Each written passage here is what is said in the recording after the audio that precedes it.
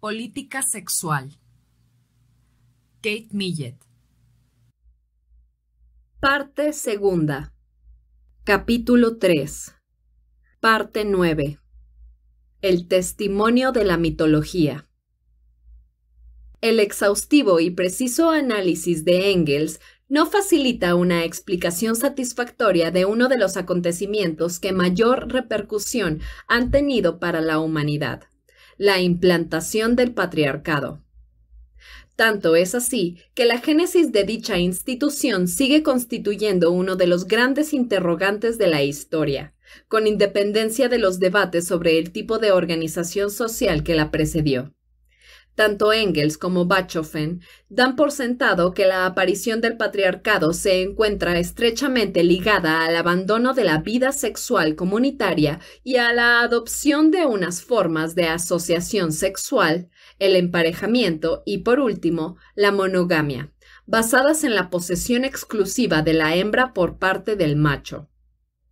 Se han aducido numerosas pruebas para corroborar que el matrimonio por parejas constituyó una etapa anterior a la monogamia propiamente dicha, cuyo desarrollo fue irregular y posiblemente tardío.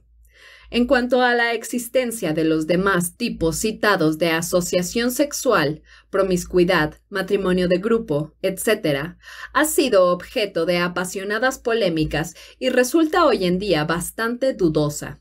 De acuerdo con los escasos testimonios de que disponemos, parece insostenible la hipótesis de Bachofen y Engels, según la cual la implantación del patriarcado podría explicarse única y principalmente por la aparición de determinadas formas de asociación sexual, ya que, a ciencia cierta, semejante cambio no pudo llevarse a cabo sin una profunda transformación social, ideológica, tecnológica y económica. Es muy probable que, como pretende Engels, la mujer representase la primera posesión de la historia.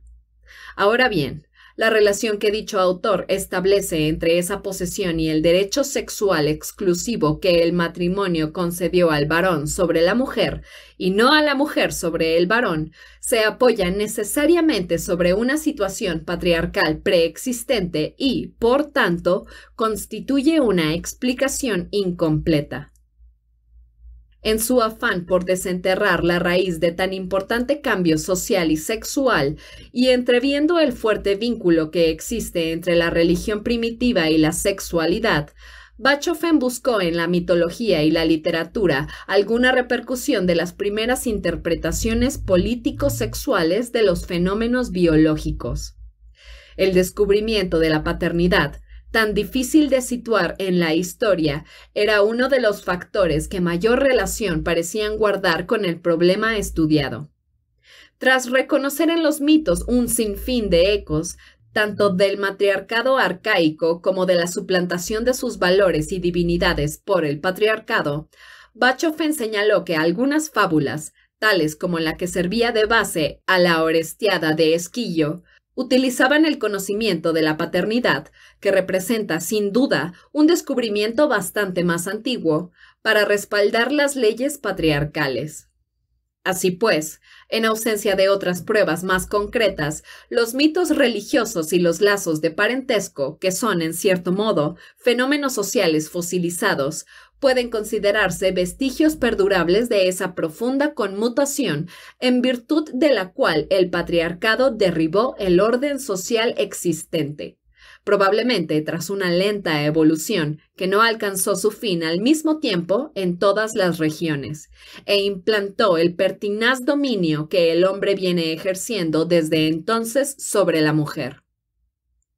Esquilo, el más antiguo de los trágicos griegos y también el más conservador desde el punto de vista religioso, en la última obra de su Orestiada, que lleva por título Las Furias o Euménides, describe una dramática confrontación entre la autoridad patriarcal o paterna y los últimos remalazos de un orden ya derrocado, asentado sobre la autoridad materna y que, de acuerdo con Bachofen, representa al matriarcado.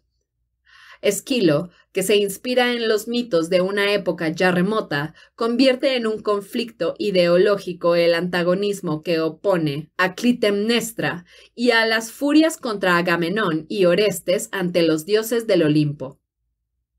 Conviene recordar brevemente el engranaje de acontecimientos que han dado lugar a la oposición que constituye el tema central de la obra.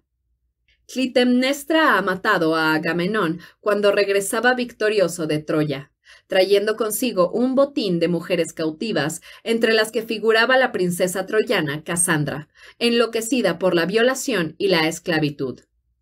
Este asesinato, que constituye un acto de ultrajante rebeldía contra la autoridad del esposo y del rey, supone un grave atentado contra el poder patriarcal. Clitemnestra ha traicionado tanto más al señorío marital y político, cuanto que, en los diez años que Agamenón ha permanecido alejado del hogar, ha tomado un amante, con el que aspira a compartir el trono. Pero, por encima de todo, Clitemnestra parece estar defendiendo el derecho materno, pues su crimen representa la venganza de su hija Ifigenia, a quien Agamenón se llevó con el pretexto de casarla con Aquiles, el general más valiente de su ejército, e inmoló recién llegada al campamento de Aulida, con el fin de propiciarse los vientos que habían de conducirle hasta Troya y al triunfo. Profundamente indignado por la ofensa cometida por su madre contra la progenitura y las prerrogativas masculinas, Orestes ha lavado con sangre materna la muerte de su padre. Su matricidio ha desencadenado la cólera de las furias, que le persigue de ciudad en ciudad. En Las Moscas, Sarte sustituye a estas implacables divinidades por el remordimiento y la fuerza de la opinión pública.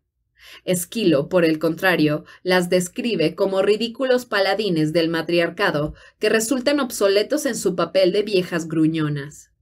Los gritos que profieren al exigir el castigo de Orestes, Clitemnestra ya ha pagado su crimen con su vida, evocan, en cierto modo, el último estertor del matriarcado en el mundo de la antigüedad. Cuando las furias lo acusan de matricidio, Orestes rehuye su responsabilidad, alegando que se limitó a cumplir las órdenes del oráculo de Apolo. Estas se niegan a admitir que un dios de la profecía haya podido prescribir semejante crimen y someten al príncipe a juicio, convencidas de que la justicia le condenará. Pero las furias no conocen la justicia patriarcal. Cuando Orestes les pregunta por qué no han acosado a Clitemnestra, contestan, con plena fe en el derecho materno, el hombre al que asesinó no era de su misma sangre. ¿Yo soy acaso de la misma sangre que mi madre? replica Orestes con desprecio. Las furias arguyen desconcertadas. Miserable, te llevó en su propio seno. ¿Pretendes renegar de la sangre de tu madre? ¿Pretendes impugnar que naciste de una mujer? Si bien semejante hecho parece difícil de rebatir, el patriarcado griego ya había llegado a una interpretación política de la biología, que Apolo expone a continuación. No es la madre la engendradora, del que es llamado hijo suyo, solo es la nodriza, de la semilla plantada en ella por el varón. Si el destino no lo malogra, ella guarda el embrión, como podría cuidar un brote recién plantado. Un padre puede procrear sin unirse a una mujer. Esta última afirmación extrae consecuencias inverosímiles del descubrimiento de la paternidad, concediendo una importancia desorbitada a la semilla. Al tomar conciencia de su participación en la creación de la vida humana, el varón, que sin duda creyó en algún tiempo que podía haber maternidad sin padre, quería resarcir con creces la ignorancia a que se vio visto relegado durante siglos. Ahora bien, resulta muy sorprendente una expropiación tan radical de la fertilidad en la que es tan conspicua la función desempeñada por la madre, de cuyo cuerpo sale el hijo, y tan encubierta la desempeñada por el padre. Pero Apolo no se conforma con la traducción de la genética y, cual hábil prestidigitador, se saca de la manga otro argumento más. Aquí, presente está, como testigo, la hija de Zeus olímpico que no fue criada en la sombría cuna del vientre. ha llegado el momento de asestar el golpe mortal. Atenea, que nació completamente formada en la cabeza de su padre Zeus, sale a escena como aplomo majestuoso y se dispone a traicionar a su sexo.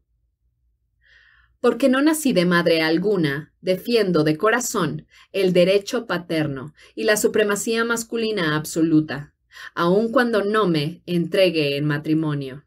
Y así, la muerte de una mujer que ha asesinado a su esposo me parece insignificante frente a la de éste.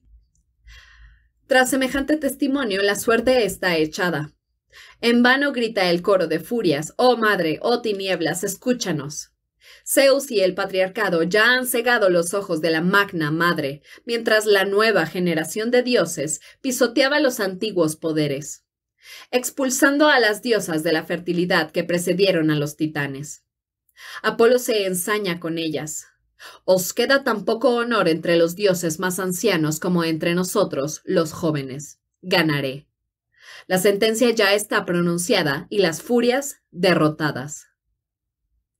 Gracias a la intervención de Atenea, Orestes no solo sale absuelto, sino que recupera su patrimonio y tras haber atribuido toda la fuerza creativa de la fertilidad al varón, la autoridad patriarcal se propone degradar la misma existencia de la mujer. De acuerdo con el decreto de Apolo, así lo ordenó Zeus con razón, sus dos crímenes no resultan, en modo alguno, comparables. Clitemnestra ha cometido un gravísimo delito al matar a Agamenón, esposo, rey y padre mientras que Orestes no ha incurrido en ninguna culpa al quitarle la vida a una mujer, aun cuando ésta fuese su propia madre. Las furias, cuya ira tiene por única función dar mayor realce al patetismo de su inevitable derrota, no suponen en momento alguno una auténtica amenaza, y se limitan a clamar con desconsuelo. Lo nuevo pisotea lo antiguo, Malditos seáis los dioses jóvenes que derogáis, las viejas leyes. No obstante, estas divinidades que representan, por supuesto, a la fertilidad, llegan a amenazar con descargar su cólera propagando por toda Grecia una plaga de esterilidad sobre plantas y niños. Pero Atenea consigue aplacarlas, otorgándoles un puesto auxiliar, exhortándolas con suaves palabras al percatarse de que su época de esplendor ya ha pasado y a adoptar, en consecuencia, una postura razonable, les impone un trato que, en apariencia, no les concede más beneficio que su supervivencia, la cual constituye una necesidad absoluta para el nuevo orden. Así pues, a pesar de su arrogante pretensión de ser la única fuente de vida, el hombre patriarcal reconoce de forma tácita que no puede medrar sin la ayuda del principio femenino, encarnado por las furias. Atenea implora a estas. Bendecid la tierra, el mar y los cielos, bendecid el viento y la luz del sol que llegan a mi patria, que los ganado y los campos aporten inagotables frutos a mi gente y que se multipliquen sus valientes hijos. Olvidando su ignominiosa derrota, las furias se apresuran a aceptar el hogar que les ofrecen en Atenas y se lanzan a una apología de cinco páginas digna de una cámara de comercio. En resumen, en la dramatización que Esquilo ofrece del antiguo mito, vemos cómo se enfrenta el patriarcado con el matriarcado, y cómo el primero sale victorioso gracias al conocimiento de la paternidad. Este triunfo fue indiscutible hasta que en un día, en una obra de Ibsen, una mujer llamada Nora dio un portazo, anunciando la revolución sexual.